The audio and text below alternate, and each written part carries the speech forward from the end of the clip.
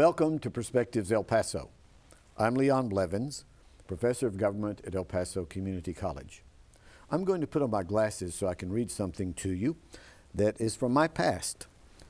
This is the last poll tax that I paid, and it was January 24th, 1966. Uh, I was only 29 years of age. This is um, October of 2010, and I just turned on October the 2nd 73. It used to be that we had to pay to vote in El Paso County and throughout the Texas and throughout the South, for that matter. Now, the reason I'm telling this is because today I have a special guest that administers elections in El Paso County, and he's seen a lot of changes himself, but not nearly as many as I have seen. I'm going to ask my co-producer, Marco Lara, to weave these into the show as uh, he edits it. Uh, so I don't want to burden with you trying to show you on the camera right now. But uh, this is what it was. It asked uh, whether I was male or female, whether I was white or colored, asked for occupation, birthplace, whether I was native born or naturalized, and it cost a dollar and 75 cents. And we had to register every year in order to vote, and we had to register by the last day of January under the state law of Texas. And then that was done away with by an amendment to the U.S. Constitution. And then I have here the first registration that I did not have to pay for in order to vote. And I bought this, I didn't buy it, it was signed for on January the 19th, 1967. And uh, same things were listed that were before, and anything else that was different. Oh, it asked for party affiliation. And I wrote on the line there, my party affiliation. And then I was purchasing some books at a, a used bookstore on Yandell Drive in El Paso one day. And I found this as a bookmarker. It's a 1937 printing of a poll tax, and it was purchased by Mr. J.W. Warden on January 31st, 1938. He lived on Elm Street, that's Five Points area. He was a plumber born in New Mexico. He was 55 years of age, and he underlined his race colored. And that tells us something about Mr. Warden. So I want to interview today Javier Chacon and get him to talk a little bit about his role in elections in El Paso County. Javier, welcome to Perspectives El Paso. Thank you, President Bradley. It's a pleasure to be here. Well, thank you very much. Uh, I knew your predecessor, Helen Jameson, because uh, my son Timothy and I used to be very involved in El Paso politics and would be delivering paperwork to her office from time to time. And um, as I remember reading about you, that you became her first assistant as uh, she was the administrator for the elections department and you were her first assistant. Is that correct? That's correct. I became her first assistant back in uh, January 1st of 2000. Okay. Are you a native El Pasoan? Yes, I am a native El Pasoan. I've lived here in, uh, in El Paso all my life. Okay. And which high school did you go to? I went to El Paso High School, uh, okay. class of 82. Class of 82. Oh, you are so young.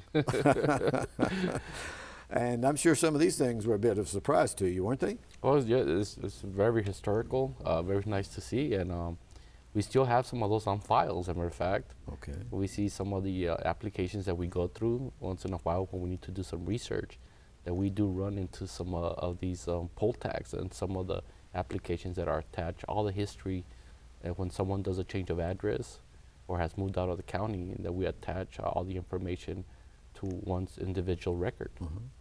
Uh, then we used to have to pay our poll tax at the tax assessor collector's office. And we did that for quite a long time. And then, of course, that was transitioned over to election offices within the counties of Texas. That's correct. Our office was one of the first offices that did that trans, uh, transformation back in 1975. Mm -hmm. uh, we were the first county to have an elections administrator. All what there was that duties from the tax assessor collector and the county clerks were turned over to what is called now the El Paso County Elections Department.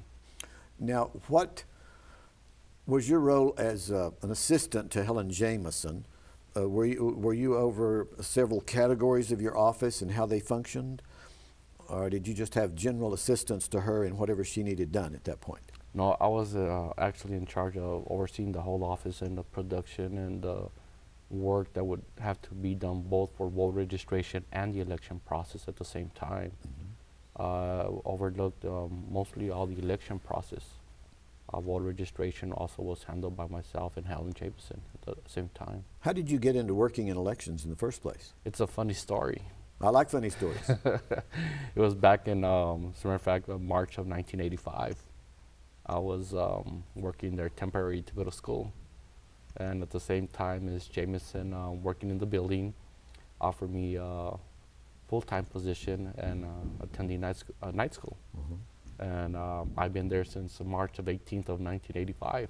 well, you found your niche in life, right? I think so. I, it's it's like to say yes. You find that niche and you stick with it, and I've stuck with it, and uh, uh, up to this point, I, I I love what I do. I love my work, and it's uh, very gratifying to see the hard work that you you put into something that you really love. I, I like to talk about relationships with other agencies of government, local, state, national, in fact. And I'm sure you have a lot of these relationships you have to deal with. Let's start with the political parties. What is your relationship in the elections office with political parties, specifically with regard to primary elections? It's a it's a, a good relationship that we have to establish with both parties. We have to work with both parties. We have to see eye to eye on mostly everything because we do conduct all their elections, even though they're the authority of the election. We conduct their elections, so our relationship with with them has to be uh, very upfront. We got to be in sync. We got to get all the judges and clerks aligned in order so it can function on election day. Wow. And people want it to function properly on election day. That's correct. and you hear if it isn't functioning Oh, properly. believe me, we'll hear about it right away, and that's fine. No, I understand the the, the public, you know, uh, and their concerns, and uh, we want to make sure that everything is um, fair, Right. ethical, and most of all, fair service to everybody. Okay, let's talk about some relationships with other institutions, uh, such as the county in relationship to the state government, and then in relationship to the national government. Uh, we are in, uh, with the state. We uh, constantly deal with the state every day. A lot of transactions have happened over the years. Uh, just for an example, for a voter registration card now, once we process a voter registration card, we have to deal both with the Social Security Administration as well as the DPS for verifying either your Social Security number or your Texas driver license number or your Texas ID number that goes through a live check every day that we submit the, that information for that voter to be eligible to vote. Well, that must mean significant computer work. Did you help install the computer systems uh, that are being used today? Yes, I have. I've been uh, mostly forming all the foundation to all the transitions that's happened over the years in the election department. From, as you can see, from the punch card to electronic voting, uh, through even now with the DPS that we have what we call a wire trans- uh, transformation every day. That w- we used to get um, hard, co- hard copies of voter registration through the DPS. Well, now that transition is through live wire, what we call the live wire. Um, Real time activity going on. Right, and uh, that's done on a daily basis. Uh, Don't you conduct some elections for other entities in El Paso County? Oh, yes, we do. We conduct all the elections for El Paso County.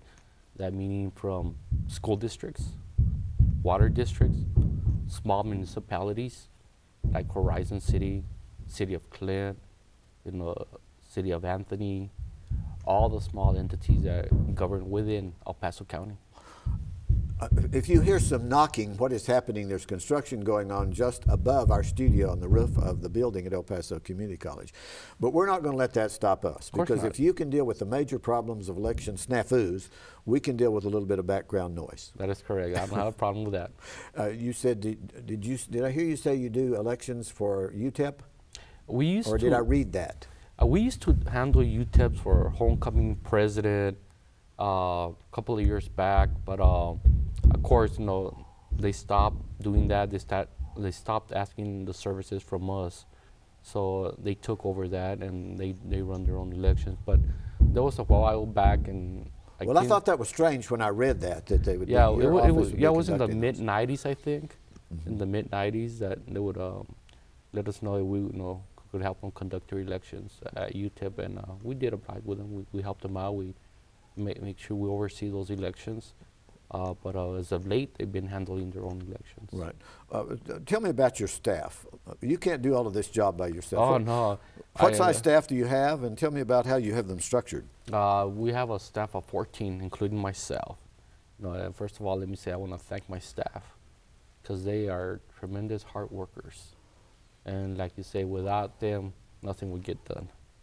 And my from the top of the my administration, I have my assistant, I have my elections coordinator, my training coordinator, I got my voter registration um, clerks, I got my uh, administrative assistant, I got my GIS specialist and uh, a training coordinator as well.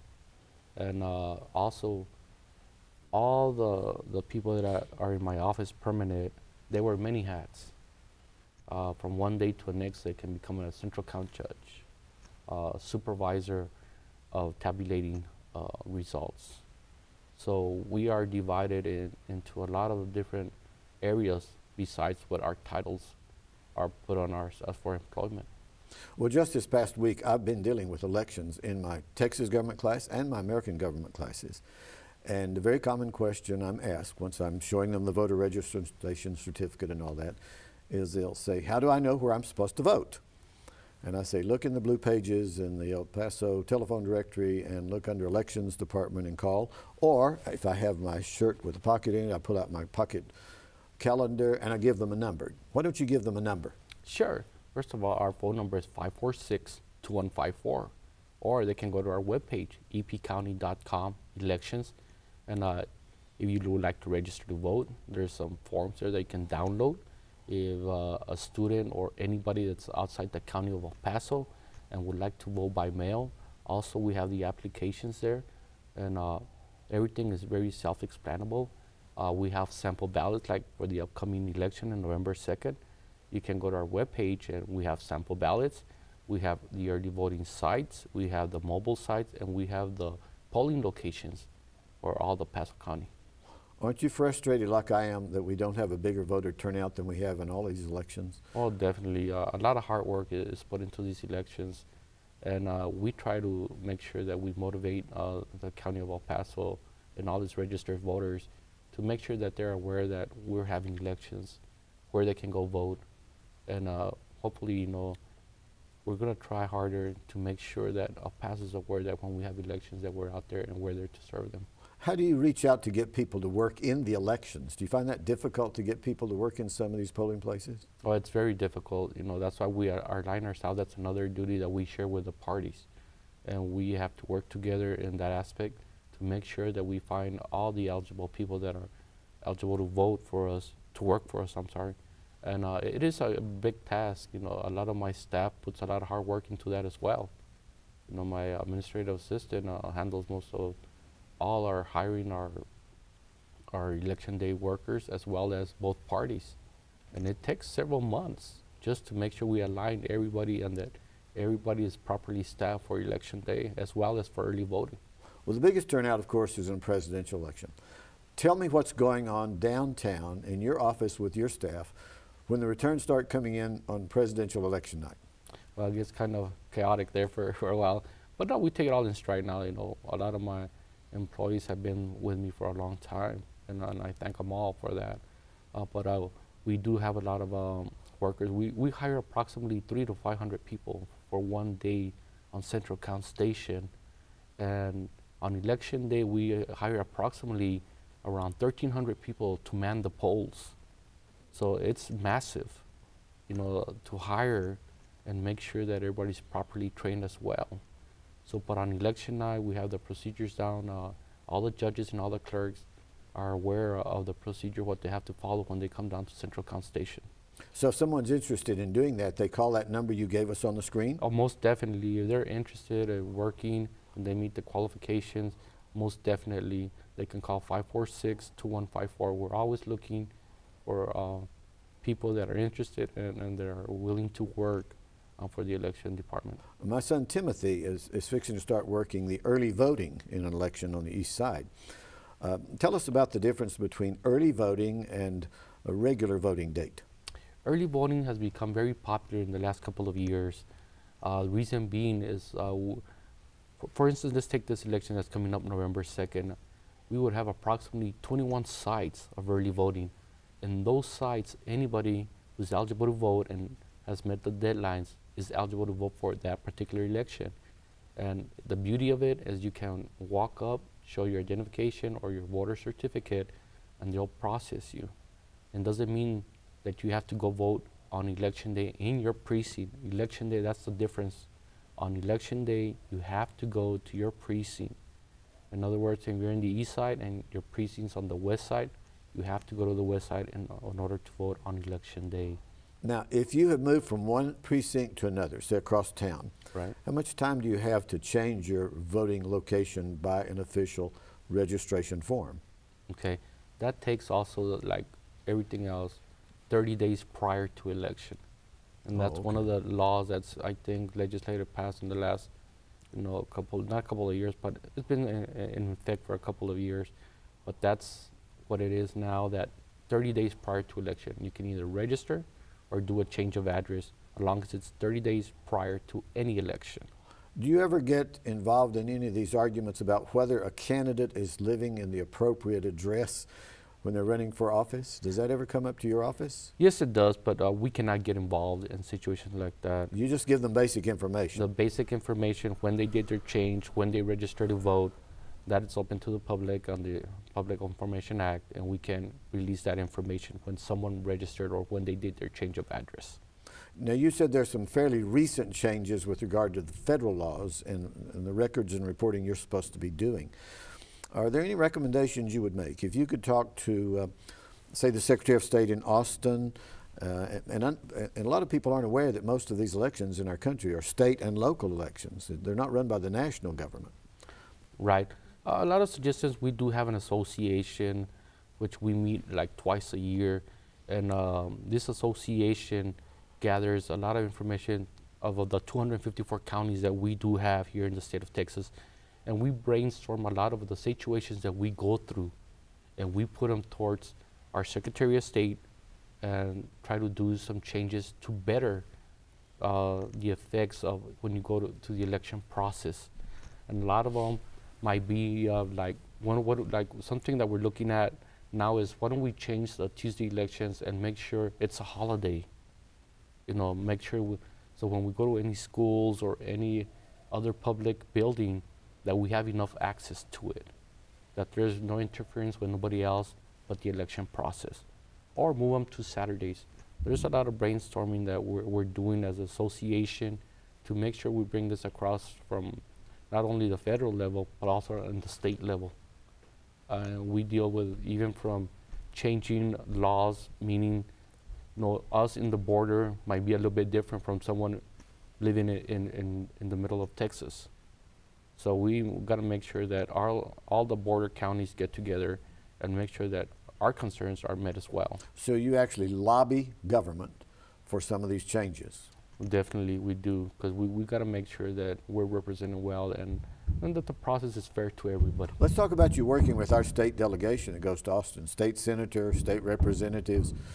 Uh, I'm sure they're willing to come in and sit down with you and, and talk about what you'd like to see pushed Well- through as legislation. Oh, definitely, uh, and that's why we, we meet with them, we talk to them, and uh, we make sure you know our concerns are heard, and that's why this uh, association that we have was created to make sure that we make sure we get our points across, not only to each of our senators or rep- state representatives, but as well as the Secretary of State hears our concerns and they help us push forward the best possible ways to run elections. Right. Uh, let's talk about you drawing in others to do this sort of work. I'm sure you've drawn in some young people. You've gone and met people at different locations, and you say, "Look, I started as a novice in this, and I learned on the job, and here I am now, administrator." Tell me about meeting some people that maybe are working for you now. I've met a lot of young people, and uh, they're surprised sometimes that it's what I've gone through to where I'm at the point that I am right now and the hard work that it took to get there. But I encourage them to stick with it. I encourage them, you know, to make sure to find that niche in life that they want to do. And I, I, you know, they ask a lot of questions. One of the questions is, well, what does the elections department do? Do they just conduct elections? And when I sit down and, and talk to them and they have the time, they're very surprised of all the work that goes in just to a preparation Yeah, right. for an election, and they see the whole different point of view from it, and that's when I encourage them to make sure to participate and vote, and to take a friend with them as well, or their brother, their cousin, their mother, their dad, you know, because it's very important that we show the support, not only here in county but in state and federal levels. That you know we're trying our best to make sure that we get across the vote process, and to make sure they get out to the polls and exercise that right that they have. Now let's get a real touchy situation here. Okay. We're in an economic recession. We're seeing that the county commissioners court is having to cut budgets. Uh, you're requesting money. We see population growth. You need more workers. Uh, tell me about your relationship in dealing with those that are on county commissioners court, the county judge and the commissioners themselves with regard to your budget. They've been very supportive. They see that the election process is needed and it's one of our rights. But yes, we, we have difficult times, but we seems to always work things out properly and to make sure that the voting process doesn't get affected by it. But yes, there's some hard times and I know sometimes I get up there and I, I, I like I said, I make sure my department is well staffed and that we have everything that we need, not what we want, but what we need to make sure that we're efficient at what we're doing. You know, and that's part of county government that make sure that we try to run the lean budget, but sometimes, you know, it's very hard and you gotta do that extra hard work just to make sure that we help the county also in their financial trouble or financial problems that we have there or, or the, the economy the way it is right now. But you're not sitting on the edge of where you would have to lay anyone off this close to an election. Oh no, thank God. You know, right now we're we're we're we're we're, we're, we're one um, we're one um, employee short, Oh, one, okay. which makes the world of difference. Believe me, Sure. and that's something that I am right now. Hopefully, trying to get back, but I know times are hard. So that's why I, I like to thank my staff because they picked up a lot of the other duties that this individual would take, and spread them through all our remainder of my employees. Right. You know, so it's very hard right now, but um, we're trying to help as much as what we can to help the county, you know, meet also their uh, in this uh, tough, hard times of economics. Right. What do you tell people in general when you're talking to them about the American electoral system and representation? You're in part of this election. This is what America's about, isn't it? You said a right to vote. Right. It's it's know I tell them you know what it might be a right, but consider it as something like a privilege. Other countries wait days in lines to vote, and here we sometimes don't exercise that right to vote. We forget about it or we don't have time for it. Uh, it seems that everybody's these days is too busy just to take a little bit of time to go and vote. So, and those, you know, to answer that is I try to encourage them. Just takes five to 15 minutes of your time to go and vote. Yeah, we just had a naturalization ceremony here in El Paso, Texas. I'm sure you hear sometimes people coming up to you and saying, I just became a citizen and now I can vote. That's correct. And we attend uh, some of those um, seminars or naturalization uh, groups to make sure once they become uh, citizens, United States citizens, that they apply right away to register. Oh, you're vote. right there right in line. As soon as they get That's that, fill this out. yes, we are, and uh, we have a lot also a lot of support from other organizations that help us out. Sometimes when election time comes around, and sometimes on the demand and the staff that I have, sometimes it's impossible for us to get out there. So I want to thank those groups for helping us as well, for being out there and helping the process. I really want to thank them too. Oh, there's veterans groups, seniors groups, a variety of groups that are out there getting people registered to vote. That's correct. And, and you have registration voter drives. Yes, I do. We uh, we like to attend those. We go out in evenings, weekends, um, to either church, you know, mass. Right after mass, we're out there trying to get people to register to vote. We go to a UTEP Community College. Uh, try to where more people are going to be there at one time, uh, and to make sure we pass the word that you know register, but also participate and vote. And another very important segment of relationships is the media, Most definitely. electronic, print media. You get your message out there. Right, definitely. I, and I have a good relationship with the media. I think um, I, I keep them uh, abreast of everything. That's what they're doing, uh, what we're doing, and um, I try to make sure that everything gets published. Like when early voting starts, uh, when the on election day that the uh, polling locations get published, and also uh, on, on the news on media to make sure that they run ads. You know that early voting has started. Try to make as much as possible as what airtime they can give me as well. Well, I think I'm interviewing today one of the greatest jugglers in El Paso County. Thank you for that. You have a tremendous job to juggle all of these things and get us out to vote. And I just wish we had more people turning out to vote. It's easier to get people registered to vote than to get them to turn out to vote. Oh, that's definitely that's something we're we're, we're um, telling them. Yes, register them to vote. Never stop that. But my motto is get them out to vote. You know, most of the people we have approximately 780,000 people living here in El Paso County, and we have approximately 380,000 registered voters. Wow. So I'm telling them, please do not stop what you're doing and registering people, but please pass the word along to get the people out and vote and participate. Our time is almost gone. We're right down here to the last minute or so. And we do want to apologize for the background noise we've had today. Remember, this is October and we're headed toward Halloween. And I think we have gremlins working in this particular building. and our crew has done the very best that they could with what we have today. And you've been an excellent guest. Thanks for coming and being with us. Thank you, Professor on Brennan. Perspectives Pleasure to be El here. Paso. Thank Thank you, Javier. And that's another program. And we hope that you'll tune in for the next one.